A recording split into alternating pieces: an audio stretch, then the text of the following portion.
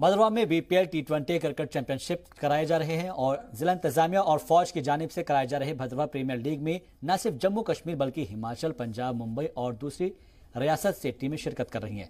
खास बात यह है कि इस टूर्नामेंट पर फतह पाने वाली टीम को तीन लाख का इनाम और ट्रॉफी मिलेगी तो वहीं रनर अप टीम को डेढ़ लाख रुपए के साथ रनर अप ट्रॉफी भी दी जाएगी। कुल मिलाकर इस मेगा टूर्नामेंट में पैंसठ टीमें शिरकत कर रही हैं। टूर्नामेंट के शुरुआती मैच में मॉमडन स्पोर्टिंग भद्रवा की टीम ने भद्रवा के ही विजडम क्रिकेट क्लब को बावन रनों से शिकस्त दे दी। कोविड की वजह से काफ़ी परेशानी रही। यहाँ हमारे पीछे मैच चल रहा है। हमारा जो यूथ यहाँ जमा हुआ है, अगर इनको थोड़ा सपोर्ट किया जाए या इनको कुछ यहाँ हमारे भद्रवा से बड़ी बड़ी टीमें यहाँ के लिए आ रही इस टूर्नामेंट में हिस्सा लेने के लिए। काफ़ी बड़े पैमान पर ये बहुत बड़ा टूर्नामेंट हो रहा है। जम्मू प्रोविंस का सबसे बड़ा टूर्नामेंट यहाँ पर भद्रवा में। करना चाहता हूँ कि ये टूर्नामेंट दूसरा टूर्नामेंट इस सीज़न का है, जो अभी भद्रवा क्रिकेट ग्राउंड पे हो रहा है, डिग्री कॉलेज के ग्राउंड पे हो रहा है। मैं समझता हूँ, जिस तरह से भद्रवा के क्रिकेट को ज़िंदा किया गया आने वाले वक्त में भद्रवा के यंगस्टर के लिए एक ज़बरदस्त बूस्ट करने वाली चीज़ है। और हमारे यहाँ का जो क्रिकेट का सरमाया, हमारे जो यंगस्टर है, उनको आगे लाने की बात है। जहाँ तक आपने इस रकम की बात की, जो इसमें प्राइज में रखा गया है तो मैं समझता हूँ कि बहुत अच्छा ये इनिशिएटिव लिया गया है कि तीन लाख रुपया इनाम रखा गया है और ओपन टूर्नामेंट करा गया है। इस पर कोई भी रिस्ट्रिक्शन नहीं, कोई भी पाबंदी नहीं, जो भी खिलाड़ी आए, बाहर से आए, अपनी टीम लेकर आए, ताकि भद्रवा में क्रिकेट को बूस्ट किया जाए और लोगों को खेल देखने को मिले। अगर बाहर के खिलाड़ी आते हैं नेचुरली वो अच्छे ज़्यादा खिलाड़ी होंगे। अगर वो यहाँ पर अच्छा खेल खेलते हैं तो हमारे यंगस्टर को उनसे क्यों सीखने के लिए मिलेगा?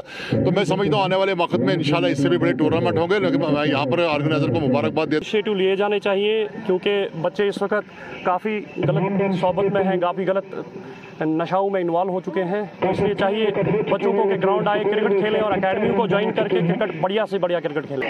मैं as a cricketer as a sportsman तो ये बहुत बड़ा इनिशिएटिव है। जो जो ऑर्गेनाइजिंग बॉडी है, जो, जिन्होंने ये टूर्नामेंट ऑर्गेनाइज किया, बहुत अच्छा किया।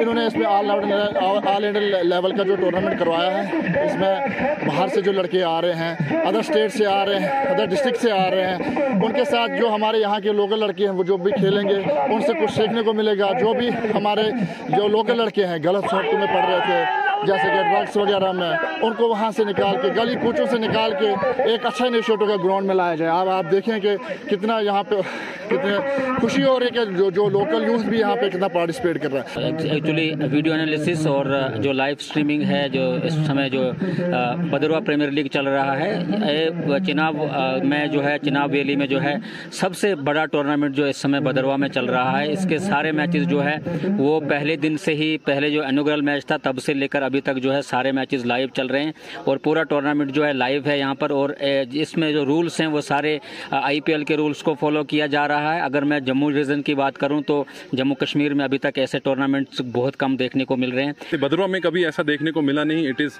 always good for the young budding cricketers के बाहर के जो प्लेयर्स हैं यहाँ पे साथ में मिलके जब खेलेंगे तो ज़रूर कुछ ना कुछ जो है लोकल क्रिकेटर्स को जो है फ़ायदा ही फ़ायदा होगा प्रोफेशनल्स के साथ खेलने में।